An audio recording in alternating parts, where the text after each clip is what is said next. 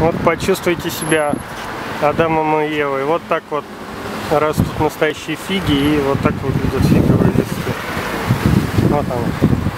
Разновидностей очень много, но греки использовали именно вот такие классы. Впервые вижу вот живьем именно такие вот фиговые берем. Клево.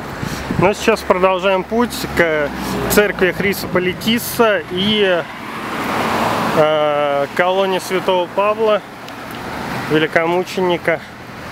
Вот, ну а затем уже двинем. О, смотрите, автобус библиоглобуса, значит мы ищем верном направлении.